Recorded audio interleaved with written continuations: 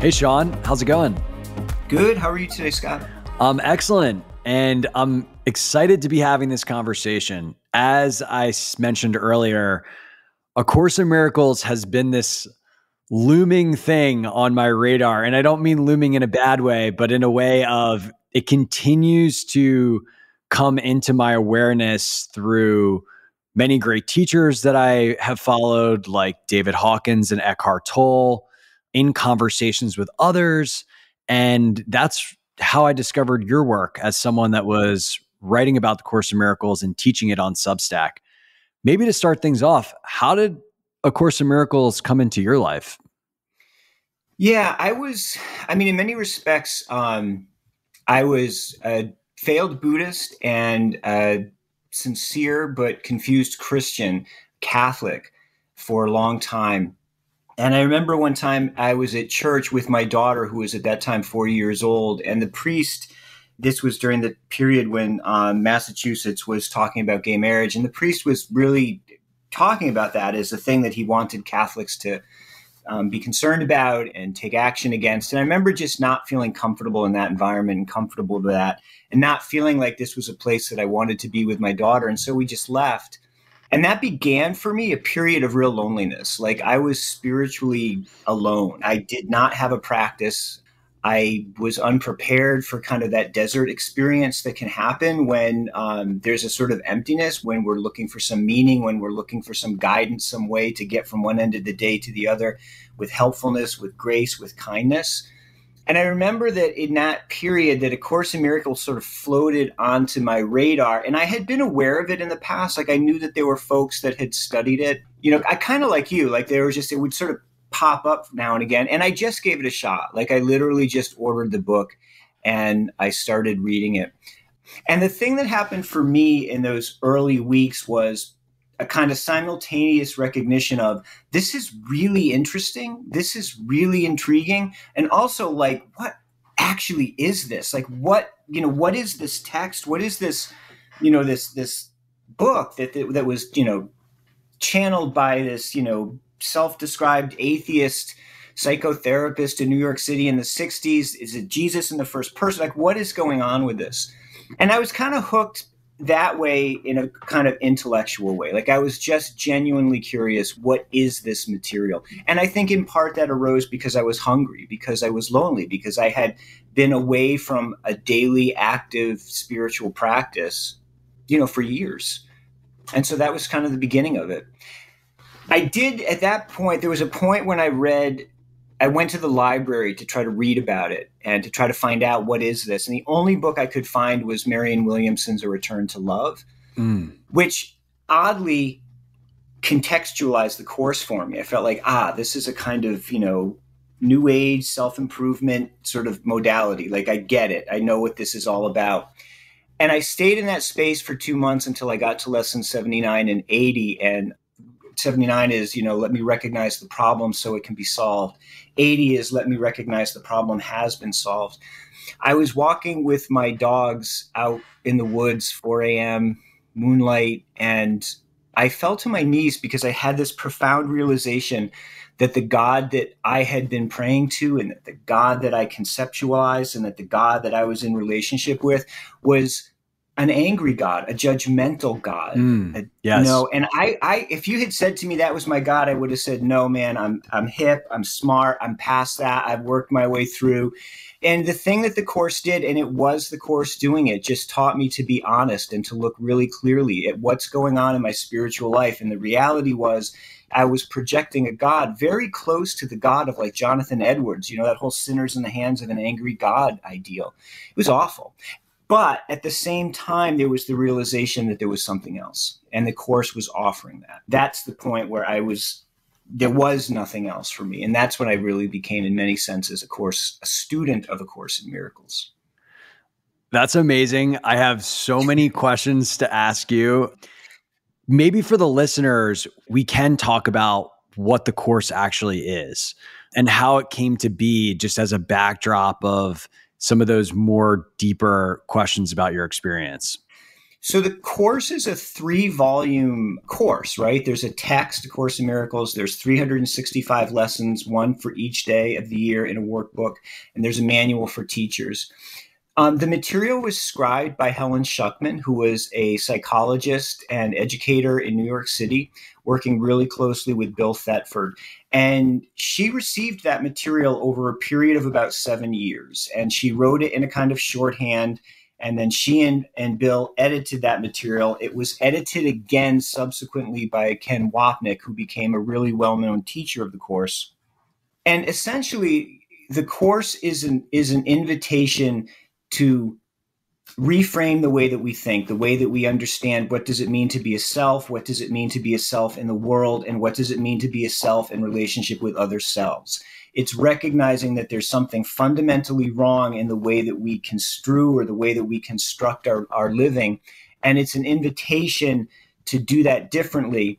And it really structures that around a kind of Freudian psychotherapeutic model of ego versus Holy Spirit. It really takes that kind of traditional Western concept of psychotherapy and takes in a, a, that kind of Christian concept as well from the West of um, Jesus as a healer, the Holy Spirit as a healer.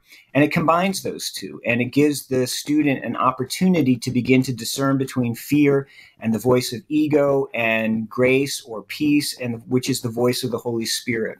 Both of which are in our minds, both of which are opportunities for us, we, ways that we have of responding to the world, interpreting the world, or interpreting experience.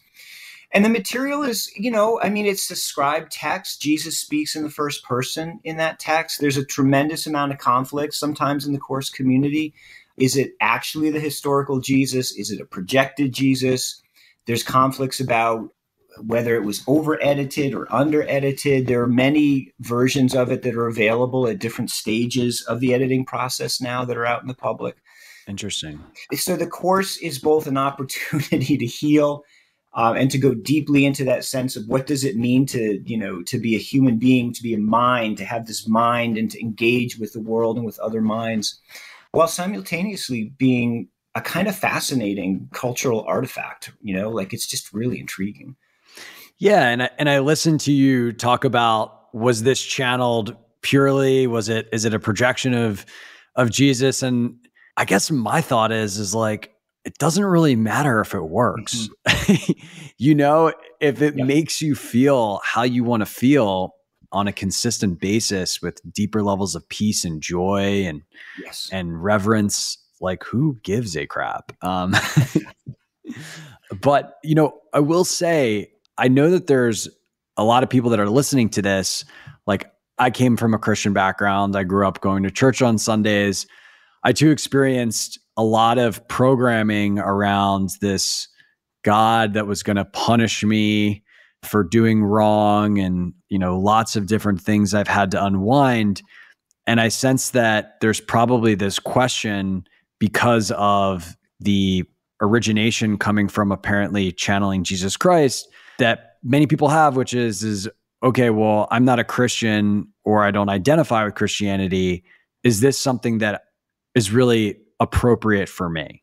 And I'd be curious to hear how you think about that. That's a really interesting question. In many respects, A Course in Miracles has, for me, healed that sense of, of that sort of shadow side of Christianity, that sort of darkness, that the anger part of that. On the other hand, it unconditionally includes that language it includes that kind of imagery and it rests on that. Like its its foundation is absolutely christian. And so i think one can come to that from a space of this language has been hurtful in my life this belief system has been painful in my life and i want to try to do some healing around that then I think the course is a good place to be. But I also think that if one is truly averse to that, like if one is coming out of another tradition of a more Eastern, a Buddhist, a Hindu tradition, and feels more comfortable with another language, I don't think that there's any loss in feeling like there's another path. The course is really clear that there's a universal curriculum and it's one flavor of it. That's it. Like if this is your flavor, then absolutely buckle down, double down, take it seriously, go all in. But if for some reason it's not resonating for you, all that really means is that what does resonate for you is just down the road a bit. And there's nothing wrong with shaking the dust off our sandals and finding what works. You're absolutely right about that. You know, the course has to, the test is always does it work? Does it help? Does it bring me more peace? Does it bring me more joy? Is that joy and that peace showing up in my relationships? Is it showing up in my communities? That's the test. Yeah, and I think this is a really important point and something that I've come to know is there is kind of like a perennial consistent philosophy or trajectory that many of these ancient wisdom teachings, religions, whatever you want to call them, all point to. There is somewhat of a universal principle and it really is the you know what version of that are we getting that has been filtered down by many men who did have self-interest as part of the process and some of these religions or texts have been better maintained than other from the original source and yeah i almost you know i think about people in my own life i think about like my mom for example who's a devout catholic she has that strong christianity resonance, even though many of the things that she's encountering today in the Catholic Church are not actually emblematic of many of the things that Jesus embodied. Mm-hmm. And so this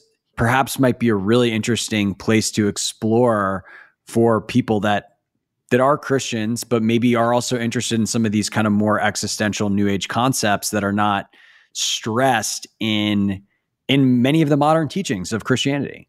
It's kind of like a happy middle ground of like i remember when i started meditating and i've had certain things happen to me and people in my family were like well that's buddhism and that's hindu and that's bad. And like it's almost like this is wrapped in a container that's approachable for lots of those audiences that's actually a really interesting way to put it and i think that's true. I think that it does have that that it has that ability to sort of it integrates this concept of psychotherapy which has i think really been a helpful development in the last hundred years for human beings.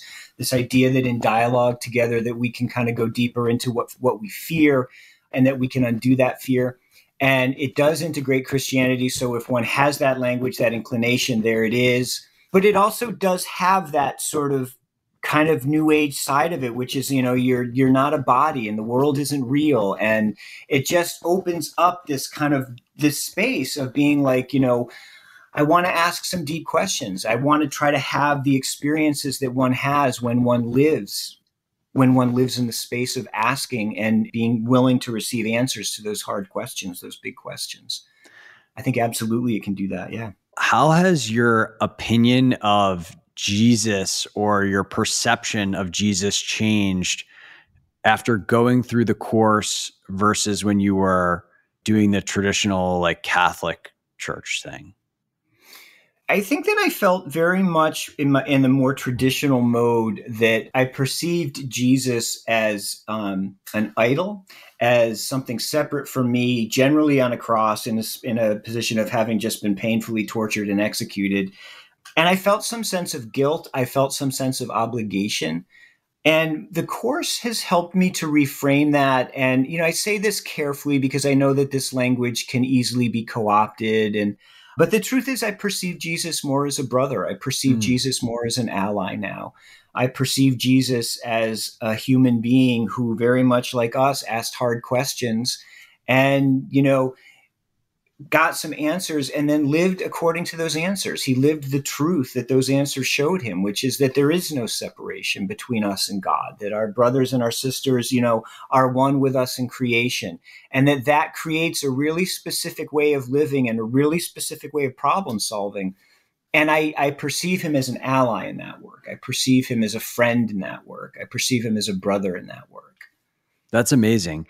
My perception personally has changed from there's definitely a long period of equating Jesus with God or the Son of God. And I think what I've come to believe now is we all are essentially expressions of God. And yes. Jesus was just a very highly evolved being, like way before his time. It's like yeah. Buddha, Jesus, all these people were like just incredibly enlightened, evolved humans that had access to many capabilities and insights and wisdom and things that were more direct emanations from the highest expression of consciousness and And for that reason, it was so unfamiliar, it was so outlandish that they were basically perceived as gods on earth.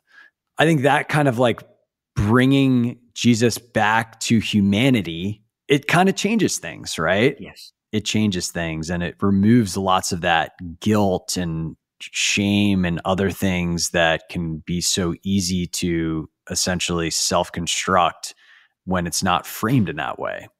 So, one of the things that, just to kind of be a little bit more specific, the Course in Miracles, it's almost like for me, the course was like a daily devotional where it was basically a page or two every day that would kind of instigate some inquiry and maybe even give you some exercises or to dos. One of the things that it's commonly associated with is forgiveness. Mm-hmm. And I would be curious just to have you talk a little bit more about that. So, forgiveness is a weird concept in the Course. And I say weird carefully because it's a very beautiful concept in the Course, but I think it's not a familiar concept. So, our concept of forgiveness tends to be you step on my toe and I forgive you. I forgive you, Scott. You know, out of the, the, you know, the kindness, the bigness of my heart, I forgive you. And then we just sort of extrapolate that. We keep moving that up the line. Bad things happen and we forgive them. And in the Course, forgiveness is a way of seeing the other as if they have not sinned. It is a way of seeing past the sin, the error, the oversight, whatever that is, whatever language that we want to use that, the wrong, the thing that happened we don't see the brother or the sister as having caused that. We don't associate them with that. It's a willingness to see past harm altogether. It's a willingness to see in all of the things that happen that we would say are bad, wrong, evil, or hurtful as cries for love and to respond to them as cries for love. The only response to a cry for love is love. That's the only response to that. And the love always is contingent on looking past what happened, past the exchange, past the event, and to the one that you share that experience with. And to and that's forgiveness. Forgiveness is the ability to see your brother or sister as God sees them, to see them in the light of creation, to see them in the light of love, to see them and to know them as a brother or sister, and not as this separate being from me who does X, Y, and Z, and I like X, but I don't like Y so much. And that's a big lift. Like it's really yeah. hard to go past the event. It's very easy for most of us to say, I'm, you know, I, have spiritually evolved. I don't hold grudges. I can, you know, I'm, I'm going to forgive you for these things that you've done. And I, you know, that that's a thing that happens in the world for sure. But the course is an invitation to go a step further and to see past the possibility of harm altogether practically, what does doing that look like? Because I'm just like, you know, it's just, I actually have a lot of experience with this and kind of came to the same conclusion through a different school of teachings. But I know that people listening to this are like, yeah, okay, that sounds great, but this person just ripped me off and I want to rip their head off. So one of the things that I always in my practice of a course in miracles I'm trying to do is when I'm in that space this person ripped me off and I want to get, you know, I want I want my money back, I want whatever it is, you know, I want the back. I want to ask myself what has to be true for this belief system to operate? You know, what has to be real? Like, you know, so have I really lost something here? What has to be true for me to lose something? In order for that to be the case, I really truly do have to be a body. Like I have to be this body, this limited contained body. You have to be the body that you are. And there has to be a principle of scarcity that there's not enough to go around and we've got to be in competition for this. That's a belief system that has to be in place in order for me to hold that grudge. And it feels very reasonable to hold it. I do not deny that. Our default mode is separation. Our default mode is fear. Absolutely. The course is saying challenge that. So what does it look like in practice? In practice for me, it's always that invitation to sort of to go a little bit slower with what's happening in the world in an attempt to ensure that my perspective is coming from holiness, that my perspective is coming from as best as I'm able, how does the Holy Spirit see this? How does Jesus see this? How does God see this? That's not easy to do. And sometimes in that space, when one overlooks, when one is able to perceive the other apart from the harm, the harm generally resolves itself, but also we realize that it's not really the harm that's causing us the problem. It's that underlying belief system that I'm a body, that I'm separate, that I have to defend myself, that my brothers and sisters, you know, are not reliable. They can't be trusted. I can't have faith in them. I want to investigate that. And that's a process that evolves in time. It's it's a practice. Very much. Definitely. The concept that you are a body and a bunch of thoughts inside of a body as a separate entity is a, a very big one. And, you know, for me, the meditation was essentially the mechanism to start to shift that, specifically understanding, becoming the watcher of thoughts and mm-hmm. recognizing that there was a deep awareness that was always there that was actually separate from the constant chatter in my head. And yeah. we could do a whole episode on that. What is the kind of mechanism and way that the course helps you understand that idea that you are just a body is actually a myth? So the mechanism for the course in some ways is the daily lesson, right? Like it's the daily lesson. So you're doing these lessons. And like I said earlier, I think it's a big lift to go from this experience of being a body to this experience of you aren't a body. You know, the body, fine, whatever. Bodies do body things, they're there, but you aren't a body. You are, you know, you don't die, you aren't born.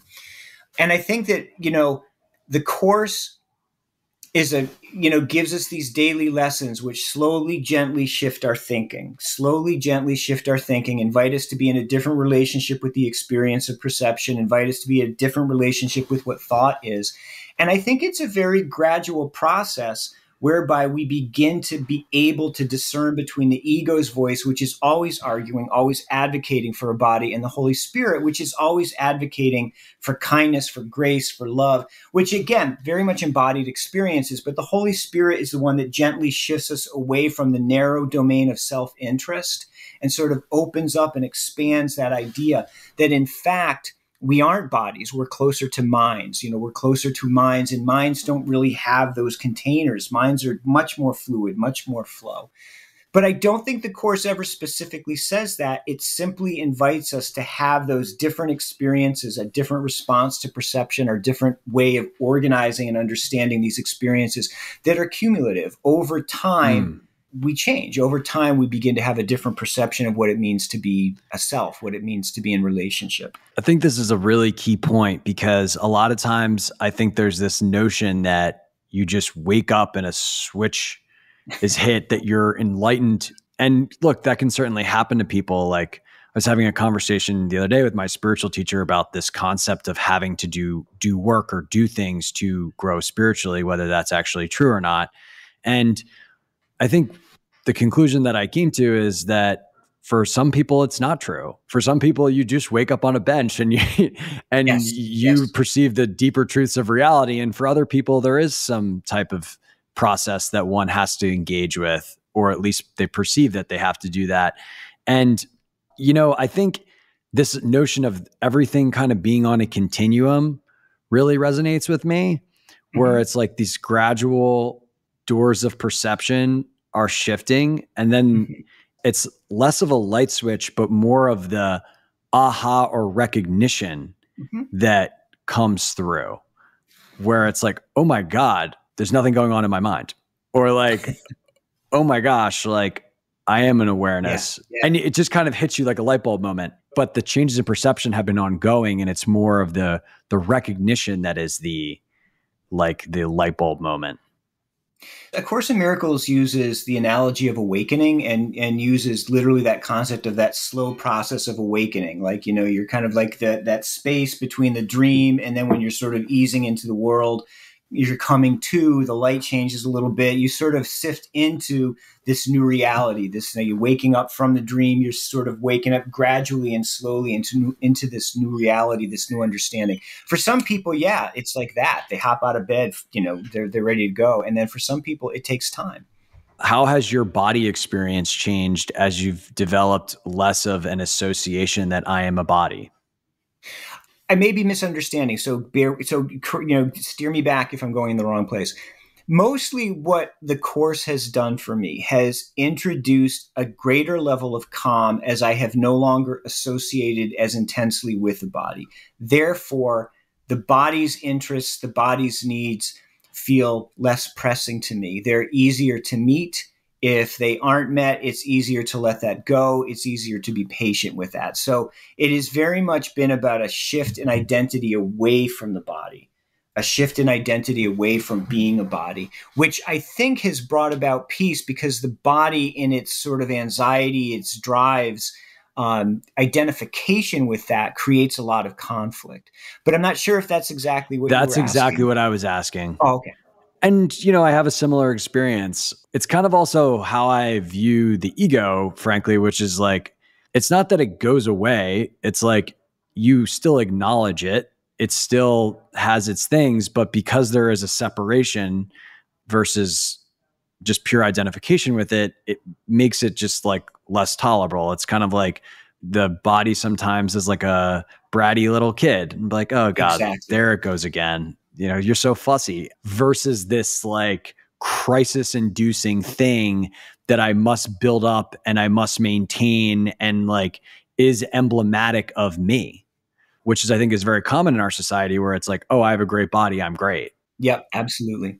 Another fascinating phenomena that I have experienced in addition to just the greater peace, and this might be, I don't know how consistent this is, but like recognizing that, you know, the consciousness or you are not limited to the spatial plane that the body exists on. Absolutely. Yeah. I've had plenty of experiences of things like remote viewing or like just getting all kinds of information that effectively was not limited to where I was in this experience, where the body yeah. was. And that was like a crazy unlock for me where it's like, oh my God, like the belief system of me and the body uh, is like limiting the essentially the plane of reality and information that I have access to.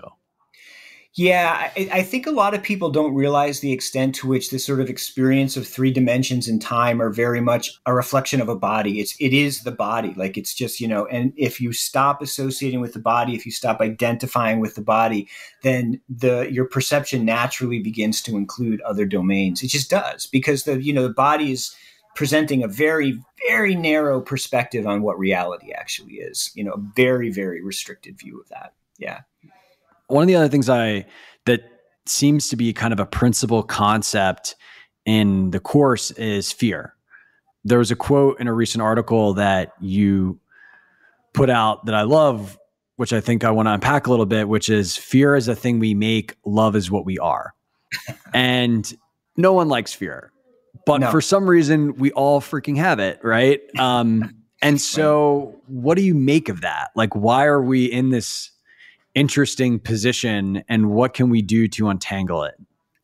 So I think that fear is a thing that happens in bodies, right? And as I, I think I use the example in that article about the you know a strange dog kind of rushed somebody and they panicked and that's just bodies being bodies there's no crisis in that that's not a problem but when we identify with that fear when we sort of psychologically become entangled with that fear and we start to feel like you know that fear is a reflection of who we are, we're judging ourselves for fear.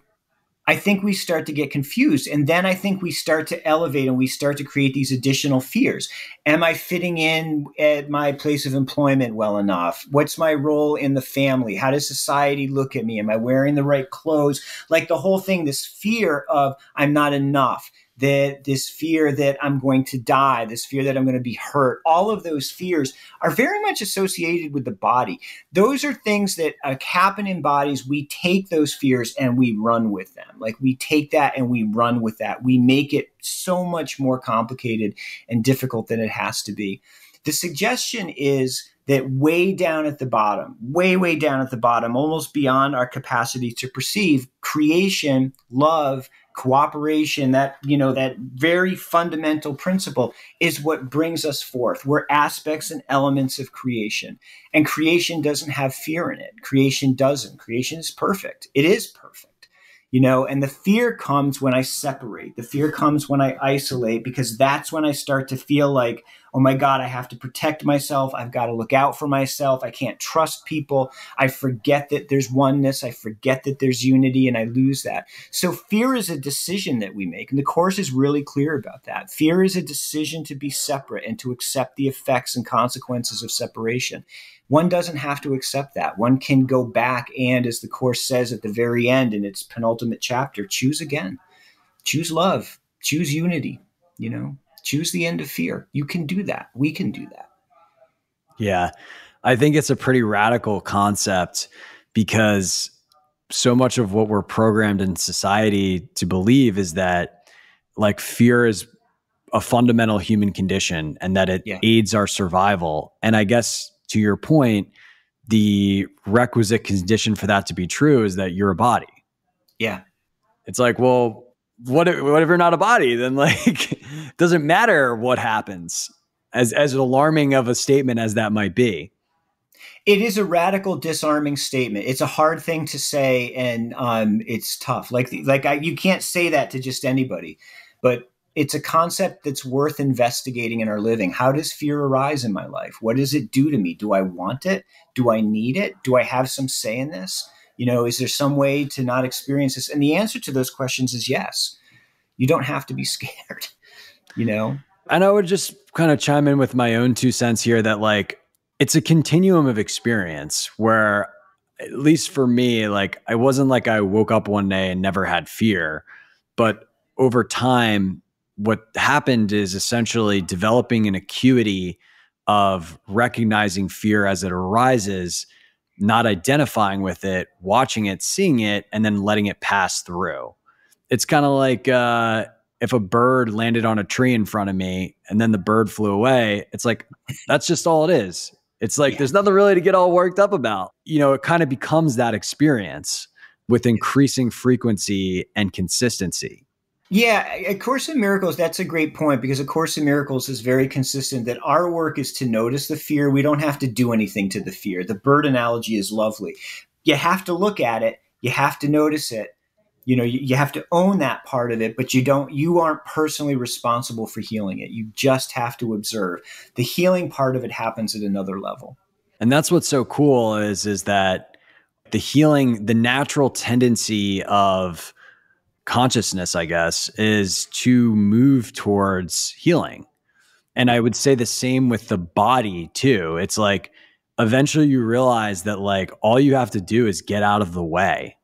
Yes. And that was a huge learning for me because for a long time I applied so much drivenness to my spiritual awakening mm-hmm. where it was like very much a Protestant work ethic of it's like the more that I do, the better I'll grow, the faster it will happen. And there's no question that there was a little bit of that served me for a while, but eventually sure. there was a recognition that, like, wait a second, like, who is the one that needs to do all this work? Right. That's just the ego, the mastermind in another in another form. Right. And it was just like crazy to see like all of this healing basically emerged naturally once I just allowed it. It was like, oh my God, like my trying was blocking it. Yes. Which yes. is so fucking counterintuitive. but also so it's like the most beautiful thing. It's like the most beautiful revelation when that those type of experiences. Yeah, healing is the natural, it's our natural function. Loving is our natural function. It just is. You know, it's really wild and it's really beautiful to see that and then to lean into it and start to practice it. Absolutely.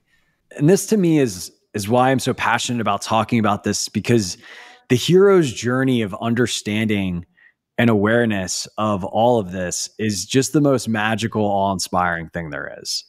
It's better than having a house like a zillion houses and nice cars. Right. It's better than being famous. It's better than anything I could possibly imagine. Right. Because the like consistent revelation is so enriching. Yeah, and I feel for myself, and I think it's a sort of an offshoot of practicing the course, is that partly of that reward, that sense of joy, is because it's real. You know, the, right. the, the fame, the fortune, that that comes and goes you know? It's fi- fine have it don't have it I, I, I don't care but there's a joy there's a way of being that's really natural that's reality itself and it's really really beautiful to make contact with that. Absolutely. What would you say the biggest inflection point point or points were for you as you went through the course? So you mentioned that chapter 79 80 when you fell to your mm-hmm. knees that sounds like a big one. Yeah were there other ones there was for me um, a moment when I Tara Singh is the person that I, I, read and most closely. And Tara Singh was deceased when I began studying the course. I never met him or worked with him at all, but I read uh, his one of his books. I think it was "Nothing Real Can Be Threatened," and in the second or third sentence of the introduction, he said, "I wanted to find out if nothing real can be threatened, nothing unreal exists, can be brought into application." And I felt like that's it like because that's a core concept. The core says the peace of god is inherent in that. Nothing real can be threatened. Nothing unreal exists. I could understand that as an idea to be debated but tara singh was the one who said let's actually see if it works. Let's live this. Let's try to actually get into the world into this life and find out if it's true. That changed my life. Like that you know that was at some point after the lessons 79 and 80 that was like turbocharging. I was in at that point. I was committed to the course, but my gosh, he just absolutely it, it, was like scales falling. I just felt like I was like seeing the night sky for the first time or something. It was so amazing. And it was really that, you know, that deep desire that, you know, we're on this path. Like again, you and I are talking about this many, you know, the many ways to study this, many ways to be on this path of healing and love, joy, and of fear. But you know, for me, Tara Singh was the one who sort of like took my hand and it, it, really pulled me forward. And that was a profound moment. Nothing real can be threatened. Nothing unreal exists. Can we live that? Can we actually live that? Not debate it, talk about it, analyze it. Can we live it? Can it be our reality? And so to just kind of unpack that a little bit, it's essentially saying unreal, fear is unreal, as an example. And mm-hmm. so it cannot be exist and the realness which is the love which is our natural state mm-hmm. it is impossible for that to not be. It cannot be threatened. It can't be threatened can't be killed can't be harmed can't be taken away. Just can't be. Can't be. You know and the challenge becomes for most of us that's you know it's puzzling. What can that possibly mean? And and you know to the extent that we're you know identified with a body it's baffling because bodies can be threatened all the time. They can be threatened by viruses. They can be threatened by falls you know like they can be it's just awful. Like you know the body is under assault constantly. Yet the suggestion was there's something real here. There's something about this you know this experience of being that is beyond the reach of harm beyond the reach of harm. And anything that you believe is harmful anytime you fall into that fear that's just unreality. That's not real. And what's not real has no effects. Doesn't have any effects. You know it's just a dream a bad mm. dream but a dream from which we can awaken. What is your experience like your day-to-day experience like now how is that different than maybe before you started this work? So I think there's a greater sense of peace and there's a much greater ability to discern between fear and love. Um, it's a process I practice. Like it's, I'm not, you know, there's no suggestion here about being at the end of anything or enlightened or anything like that. It's just that, you know, I feel this profound awareness of the gift you know the gift of love which i think inheres in creation. To call it a gift is a little weird. It sort of implies there's an actual giver out there. I think it's more that creation itself is a gift and that we are aspects of that and that there's no cause for fear. There's no cause for hate. And it's very very beautiful you know to be part of that. And that infuses the day-to-day life. Like i stop more to notice things which are very beautiful. I have more ability to do that. I don't feel anywhere near as driven around um, success models that the world offers me. I think I'm a better listener. I think it's absolutely unconditionally made me a better dad. Like in all those ways, it opens up the capacity to be present to the world and to be present to life, to be present to all of that with more grace, more openness. That's beautiful. You know, coming from an intensely driven background myself, yeah. where I was effectively trying to be perfect at everything for most of my life there's a good book that I read recently called 4,000 Weeks the title is essentially the average human life has 4,000 weeks. And I talked about this notion that this experience is nothing but a series of moments that we're on. And effectively, it was kind of talking about productivity, and which is uh, to me a form of fear. it's like if that is what this is, then the ability to enjoy those moments is such an incredible gift. Ability to be and like be a part of those moments fully is like mm-hmm. that is what this is.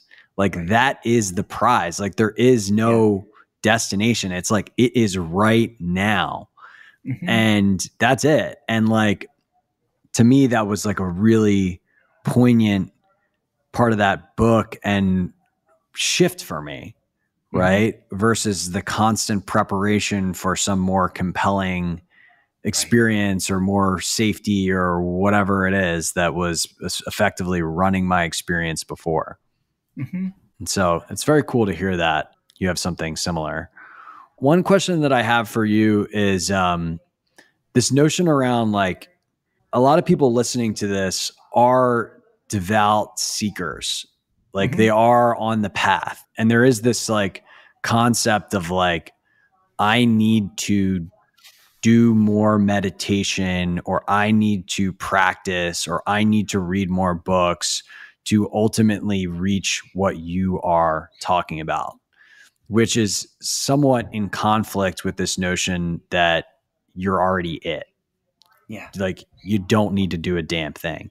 And right. practically people hear that and are probably like, well, what do I do?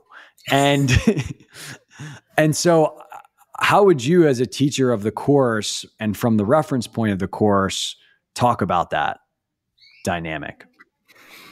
So I think to the extent that one is experiencing themselves in the stage of seeking where you want to consume a lot of material, I I think that's a phase that one goes through in my experience. You've talked about that. We I've talked Same. about that. So on some level, you know, I in fact I said this to someone yesterday. I'm like, lean in. Like if if that's where you're at, man, then lean into it. Like live if that's what the Holy Spirit is calling you to do, to you know, to just read everything, meditate more, to go for it.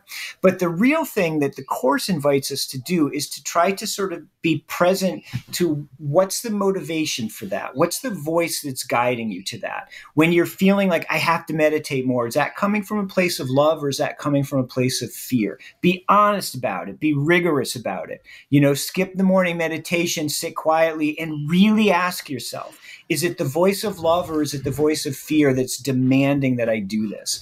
And I think one of the things that happens in, you know, for those of us who study and practice the course, we get good at recognizing when we're being called by fear and when we're being called by love.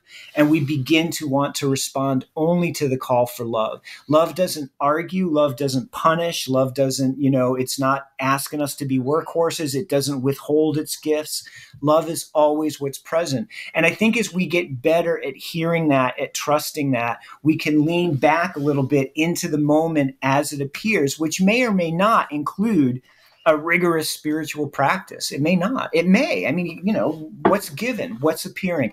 But the real question is always, you know, with respect to my response, with respect to my presence to this, it, am I being called by love or am I being called by fear? I want to really get good at understanding that distinction so that I can respond to love.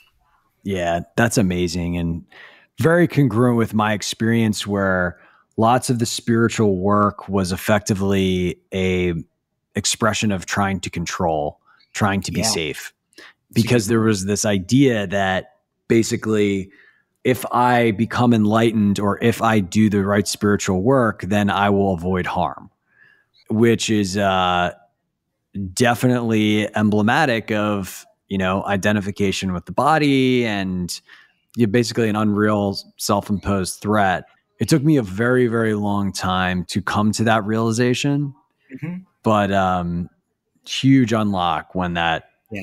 arose because then the, the experience just becomes I would say more spontaneous, right? It's yes. like, yep. you know, you feel like meditating, like go meditate. Like it's not right or yes. wrong. It's just whatever. Like you want to yes skip meditation and you want to go read a trashy TV like novel, like whatever, like go yep. do that. And there yes. not a sense of militantness about about things. Yeah. Well, Sean, this has been a fantastic conversation. You know, I know that this is, I mean, is this is what you do for a living, right? You teach the course. Is that correct? I do teach the course, yeah. That's awesome. And so for the people that out there that are listening that perhaps want to engage more with the course or with you, like what is the best way for them to do that? Um, they can reach me through my website, seanreagan.com, and that's got a link to my Substack, um, which a lot of people find helpful. But there's a lot of writing, a lot of video and stuff at my website, which can be really helpful if you're interested in engaging. Absolutely. I'll link to that in the show notes. So for everybody listening, you can find all that there.